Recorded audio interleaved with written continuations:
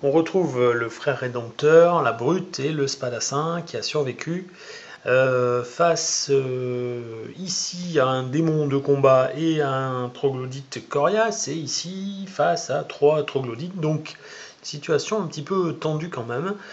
donc il ne reste plus que trois guerriers, donc lancer 3D. Et on va tout de suite appliquer les résultats. Donc on a 2, 2 x 2 et 6. D'accord. Alors, bon, bah tout de suite, ce que je vais faire, c'est placer un 2 ici, on va voir pourquoi. Je crois que c'est aussi un 2 ici, et le 6 euh, ici. Le 6, c'est parce que ça donne pas mal de défense, et vu euh, tout le monde là sur la tuile, je préfère que le frère rédempteur ait pas mal de défense. Le 2, pourquoi? Alors le 2, normalement, la brute ne peut pas l'utiliser, mais je vais utiliser tout de suite le pouvoir de sanctification du frère rédempteur, qui lui permet, une seule fois par partie, donc euh, voilà, il est là, de donner un don, soit plus de combat, soit plus 1 en déplacement, donc ça va être plus 2 de combat à l'un euh, de ces à l'un de ces guerriers, donc je vais donner ce, pouvoir à la brute condamnée, et si euh, je donne le pouvoir de sanctification alors que le dé est sur une ligne annulée, c'est le cas, le 2 euh, est sur la ligne donc ici qui est annulée puisque le frère, euh, la brute avait été euh, blessée, ça permet de soigner cette ligne. Donc non seulement il gagne plus de deux combats, pour m'en souvenir, je vais placer ça à côté de lui, mais en plus je peux soigner cette ligne. Donc ça c'était le pouvoir de sanctification euh, du frère rédempteur. C'est ici, sanctifier, prendre un jeton soutien durant la phase d'initiative, une fois par scénario, donc plus de deux combats. Et si combattant utilise ligne d'action annulée, celle-ci guérit. Donc on a guéri la ligne d'action, c'est très bien. Ça permet à la brute de n'avoir plus que deux blessures. Et euh, donc par contre mon pouvoir, ça y est, il est utilisé. Alors je peux du coup utiliser aussi l'aura de bénédiction qui permet durant la phase d'initiative, le frère rédempteur fait perdre un euh, point de menace au joueur démon, mais euh, le joueur démon il a plus de. il a tout dépensé. Il a, il a tout dépensé la dernière fois, donc il en a plus. Ok, donc. Alors il faut réfléchir à quoi on joue en premier euh, Bon, je crois qu'en premier, on va faire on va faire attaquer la brute. Je pense que c'est le plus intéressant. Donc la brute, 2. Euh, ça lui fait 3 euh, en combat. Donc 3D. Plus 2 grâce au pouvoir de sanctification qu'on a ici. Plus 2 en combat. Donc ça fait 5 dés en tout, 5 dés de combat euh, que je vais jeter. Et la brute bah, va, attaquer, euh, va attaquer ce démon qui nous embête quand même. Euh, donc il a 4 en défense, le démon, et il a 3 points de vie. Donc il faut que je fasse 4 ou plus pour le toucher. C'est parti. Bien, eh ben, je, lui inflige, je lui inflige 3 touches, ce qui est pas mal quand même. 3 touches, donc ce qui est plus que pas mal. Ce qui est plus que pas mal, ce qui le tue. Voilà, et oui, c'est pas 4 points de vie, c'est 3 qu'il a, donc c'est parfait. Euh, un démon de moins déjà. Donc je ne peux plus maintenant, dans ce scénario, utiliser qu'un seul démon. J'ai droit à deux démons par, euh, pour ce scénario, donc celui-là, il est éliminé. Donc sa capacité imposante n'est plus, euh, plus valable. Hein. c'est une capacité qui empêchait de de quitter la tuile. Bon. Alors maintenant qu'il a tapé, le... la grosse boute peut bouger. Ça, c'est toujours permis. donc ce qu'on va faire, ce qu'on va faire, c'est qu'on va bouger. Là, ça mérite réflexion un petit peu. Je pense qu'on va bouger ici quand même. Allez, c'est parti. Hop. Alors, qu'est-ce que c'est que ça? Qu'est-ce que c'est que ça? Hop, on se retrouve ici. Je laisse le frère rédempteur ici. Je pense qu'il a ses chances quand même de, s'en sortir. Euh, qu'est-ce que ça nous donne ça cette huile?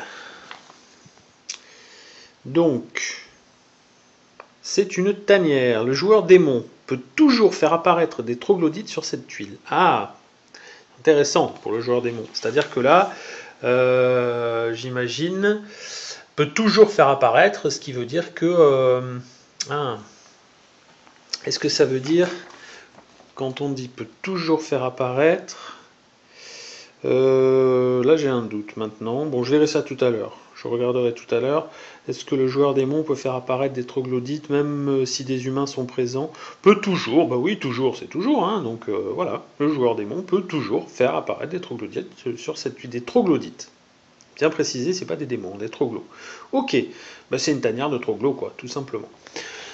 Ok, on verra ça, c'est pas le tour du joueur démon, c'est encore le tour des humains. Donc euh, la grosse brute est activée, ça c'est fait. Maintenant, le frère rédempteur, je crois que euh, il va taper aussi. Bon, alors il a qu'un en combat, le frère rédempteur, c'est pas très intéressant, mais euh, on va essayer de taper le troglodyte Corias qui est ici, qui a qu'un point de vie. Hein. voilà, il a il a des, valeurs améliorées dans certaines compétences, mais pour les points de vie, euh, il reste à 1. Donc c'est parti. Et donc en défense, il a. Hmm, par contre, il a 5 en défense, ah oui. ça, c'est pas mal par contre. Donc il faut faire 5 ou plus pour le toucher. Allez, c'est parti. Et eh ben voilà. Hop Terminé. Troglocorias éliminé. Bon, donc ça c'est fait. Et maintenant, eh ben, je crois que tout simplement, le frère rédempteur va aller rejoindre. Oh, qu'est-ce qu'on fait? Qu'est-ce qu'on fait là? Bon, ça je vais l'enlever de toute façon parce que ça, ne compte plus. Alors je pourrais aller par là. C'est un risque parce que je ne sais pas sur quelle tuile je vais tomber. Maintenant, il faut, il faut arriver peu à peu à les, faire sortir ces tuiles. Euh, qu'est-ce que je fais? Est-ce qu'il s'écarte un petit peu? Il s'écarte pas de beaucoup? Euh, allez, on va... Allez, si, allez, on va, on va aller là. On va prendre des risques. Je pense pas que c'est forcément la meilleure idée, mais... Alors, c'est un couloir étroit. Tiens, que je vais mettre comme ça, pour rigoler. Hop, couloir étroit qui arrive ici, donc qui se termine ici en cul-de-sac. Euh, je pense que tant qu'il y a des issues de libre, donc c'est le joueur, normalement c'est le joueur démon qui choisit l'orientation. Je crois que tant que des issues, il y a des issues de libre quelque part, euh, on a le droit de faire terminer un, lieu en cul-de-sac. Donc euh, voilà, de toute façon j'ai encore des issues par là, j'en ai par ici. J'en ai là, donc voilà. Donc là, il se termine en cul-de-sac, donc ça veut dire que par là, il n'y avait rien. et donc c'est un couloir étroit, ça veut dire qu'une seule, une seule figurine de chaque camp peut tenir dessus. Euh, de toute façon, euh, c'est pas plus mal parce que là je suis sûr que rien n'apparaîtra sur cette tuile. Il euh, n'y a pas d'issue, donc rien ne pourra apparaître pour embêter le frère rédempteur. Bien, donc le frère rédempteur, ça y est, il a été activé. Maintenant il reste le spadassin brun. Le spadassin brun, on avait dit 2. Il a 1 de déplacement, 2 de combat. Bon, ben, on va faire combat-déplacement. Je pense que c'est la, c'est la logique. Euh, oui, combat déplacement. Donc il a deux, deux dés de combat euh, et un en déplacement. Donc on va prendre deux dés. Et donc ce sont, euh, il y a trois troglos. Et le troglo de base, il a 3 en défense. Donc je vais faire 3 ou plus pour éliminer du troglo. Allez, zou Bon, loupé. Enfin non, pas loupé, j'en tue un. C'est déjà pas mal. Voilà. Et on avance bah, ici. Bien. Donc il reste deux troglodytes.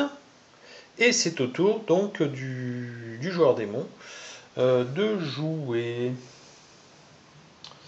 C'est parti. Donc le joueur démon, il avait mis un dé de côté la dernière fois. Donc ça me fait euh, normalement 3D plus 5, 4. 4 dés à lancer.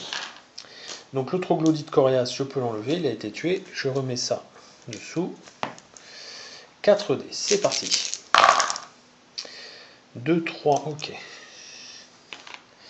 Alors, là, ce qui serait pas mal, peut-être, c'est de faire apparaître du troglo dans la tanière pour taper sur euh, la brute condamnée, qui du coup a 2, donc ça lui fait combien en défense? Celle-là, ça lui fait 4. C'est pas énorme. C'est pas énorme. Euh... Ouais, ben je vais faire ça. Je vais faire. Je vais mettre 3 dés ici. Tous les dés doivent être pairs ou impairs. Donc là, j'ai 3 dés impairs. Et avec 3 dés impairs, avec 3 dés impairs, je gagne 6 points de menace. Puisque 2 pions de menace par dé.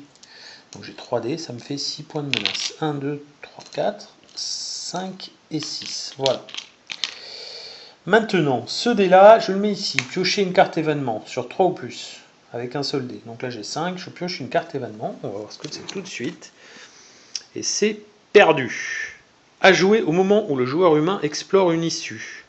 La tuile mise en jeu est choisie secrètement parmi les trois prochaines de la pioche. Les, deux autres sont replacées sur la pioche dans l'ordre de votre choix. D'accord. Donc ça c'est pour embêter les humains au moment où ils se déplacent. On verra ça donc tout à l'heure.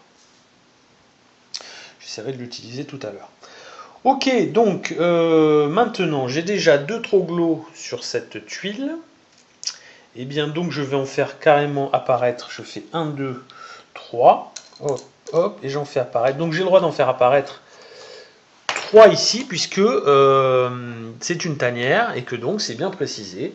Euh, dans une tanière, je revérifie quand même par acquis de conscience, mais tanière, le joueur démon peut toujours faire apparaître des troglodytes sur cette tuile. Donc je les fais apparaître. Et pourquoi 3 ben, 3 puisque une tuile classique, euh, donc voilà, une tuile couloir et 3, on peut avoir qu'une seule figurine de chaque camp. Euh, la tuile d'entrée, on peut en avoir 5 de chaque camp. Et une tuile classique comme ça, c'est 3 de chaque camp, donc 3 au maximum, les voilà. Ok, donc ça c'était la phase de menace qui est maintenant passée. Et euh, on va passer à la phase d'action du joueur démon. donc ce qu'on va faire, ce qu'on va faire, c'est qu'on va bouger ces deux-là ici. Donc ils ont on voit le troglo, il a un déplacement. Alors, il y a aussi une petite différence de déplacement entre les, les, troglodytes et les démons et les joueurs humains, c'est qu'ils euh, ne peuvent euh, se déplacer, les démons et les troglodytes, que sur des tuiles qui sont déjà apparues. Ils ne peuvent pas explorer, comme le font les humains, c'est-à-dire faire apparaître de nouvelles tuiles. Donc là, celle-là, il n'y a pas de problème, elle était là, je me déplace de 1, ils ont un de déplacement, et je vais donc attaquer euh, le spadassin. ah oui, alors, tout à l'heure aussi juste pour reclarifier ça, quand le spadassin s'est déplacé, ils étaient deux. Mais lui, donc normalement, la règle veut que euh, il y a la règle de blocage qui fait que si les ennemis sont plus nombreux sur une tuile, on ne peut pas se déplacer. Sauf les spadassins qui sont insaisissables. C'est marqué sur leur fiche, ils sont insaisissables. Et donc eux peuvent se déplacer, ils ne sont pas soumis à la règle de blocage. Voilà, c'était juste pour revenir sur ce petit truc-là. Hop, je remets mes deux troglos ici, et les troglos vont donc attaquer le spadassin. Donc les troglos, ils ont un dé de combat chacun, et le spadassin, il, a une défense de 4. Voilà, comme la brute. Pour cette, ils, sont tous, tous deux sur 2, donc ils ont tous les deux une défense de 4. Ok, donc il faut faire 4 ou plus pour le toucher. C'est parti. Eh ben, donc une touche. Une touche contre le spadassin. On va l'embêter un peu, on va lui bloquer un peu son mouvement ici. Voilà. Euh, bah non, parce que là, c'est pas le. Donc, euh, il faut que je me remette dans la peau du joueur humain. C'est le joueur humain qui, décide de où placer la blessure, et donc je vais m'embêter le moins possible, au contraire. Et je vais placer ça à un endroit voilà, ces deux lignes-là, quand on fait deux ou trois, on a exactement les mêmes trucs. 1, 2, 4, 1, 2, 4. Donc je vais le placer euh, à 3. Voilà. Bien, donc ça c'est fait. Maintenant, euh, j'ai le groupe qui est ici à activer. Donc eux, alors j'ai le choix. Non, alors, juste, tiens, justement, question de règle intéressante.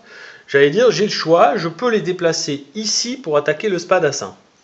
Ce qui aurait permis de faire euh, encore plus d'attaques contre lui, sauf que non, je ne peux pas, puisque lui, la brute, là, il a le pouvoir imposant. Et donc, c'est marqué ici, il est garde du corps et imposant. Et donc, en tant qu'imposant, empêche les combattants ennemis de quitter la tuile où ils se trouvent. Voilà. Euh, et donc, c'est un pouvoir qui s'annule, euh, insaisissable et imposant s'annule. Là, en l'occurrence, les troglodytes ne sont pas insaisissables du tout. Donc, ils ne peuvent pas quitter cette tuile. Donc, euh, comme ils ne peuvent pas quitter la tuile, comme ils ne peuvent pas explorer, ils ne peuvent pas s'en aller sur des issues non explorées, ils vont attaquer, mais de toute façon c'est ce qui me paraît le plus logique, ils vont attaquer tout de suite la brute. Donc je prends 3D, et là tiens, le joueur démon il a fait une bêtise, il va lancer que 3D la prochaine fois, j'aurais pu en mettre un ici, je n'ai pas pensé. Voilà, je lancerai que 3D la prochaine fois. Donc 3D, le, la brute elle a 4 de défense, donc c'est parti, on va essayer de faire des 4 et plus pour toucher la brute. Attention, c'est parti. Ouh Ouh là là là là la brute prend une grosse fessée.